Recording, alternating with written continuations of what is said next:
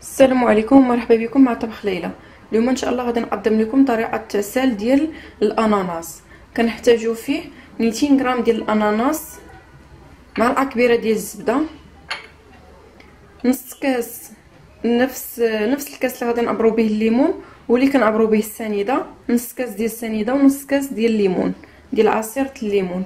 أناناس قطعناه بحال هكا. يكون غلاط شوية. كناخذ كاسرونه كنشعل العافية تكون مليله شوية. وكنخوي نص كاس ديال السنيدة. كنخليوه حتى يذوب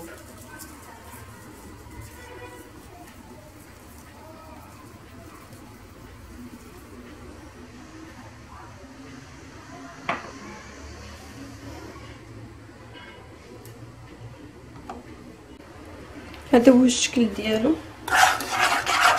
كنزيد عليه معلقة كبيرة ديال الزبدة.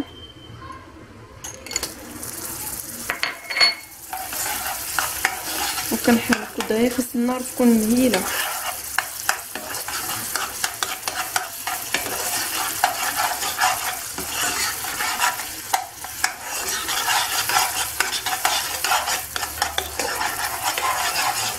كنزيد نص كاس ديال عصير الليمون خص نبعد وجهنا حيت كيطير بزاف.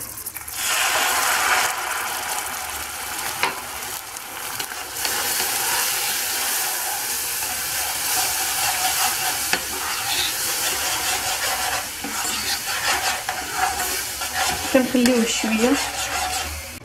خليته تقريبا واحد الدقائق فوق العافية.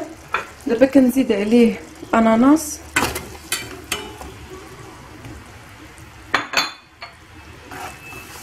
هاد الأناناس ممكن نستعملوه مع مع الدجاج محمر مع اللحم. ممكن نديروه في بزاف الأطباق.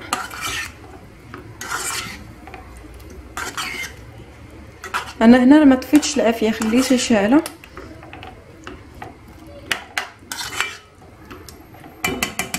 كنسد عليه وكنخليه حتى يتشرب.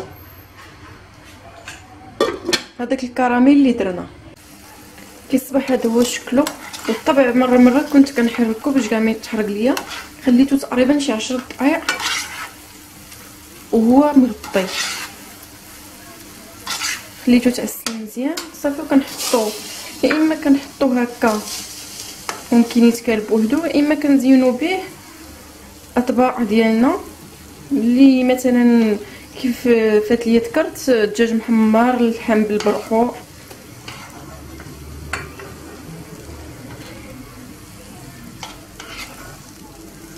كنتمنى طريقتي تعجبكم وبصحه والراحة.